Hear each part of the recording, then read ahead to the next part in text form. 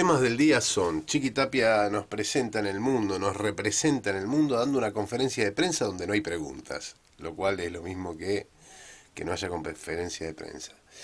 Después, Argentina se convirtió en país productor de vuelta, ahora produce deuda externa y deuda interna. Eso está bueno, está bueno, está bueno, está bueno. Nacer debiendo, vivir pagando y morir endeudado. Es un, un programa muy novedoso. A Grecia le fue bárbaro.